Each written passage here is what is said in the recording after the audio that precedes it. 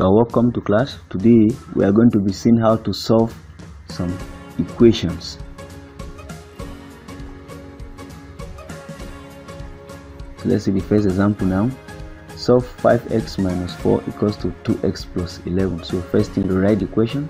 Now we collect like terms by subtracting 2x from both sides and adding 4 to both sides. So we have 5x minus 2x which is 3, 11 plus 4 is 15. So to make our x stand alone, we divide both sides of that equation above with 3 and our x is 5.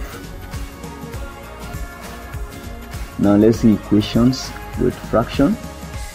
We're going to see how to deal with equations with fraction. To find the value of y if 4y over 5 minus 2y over 3 equals to 15. Now the lowest common multiple of 3 and 5 is 15. So let's see how to simplify the left hand side. So say 15 divided by 5 is 3, 3 times 4y minus 15 divided by 3 is 5, 5 times 2y. So everything equals to 4.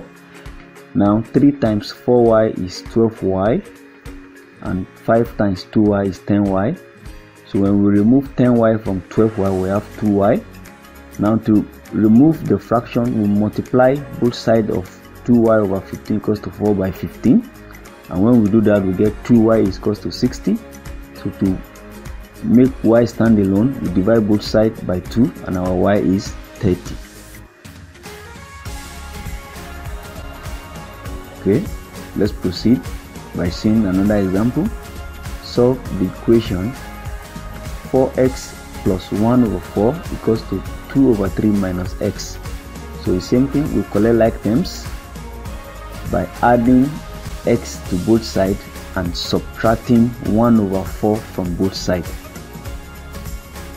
So we say 4x plus x equals to 2 over 3 minus 1 over 4 4x plus x is 5x the LCM of 3 and 4 is 12 12 divided by 3 is 4 4 times 2 is 8 12 divided by 4 is 3 3 times 1 is 3 so 5x equals to if you remove 3 from 8 we have 5 so to make to make x stand alone we divide both sides by 5 or we say we multiply both sides by 1 over 5 it's still the same thing.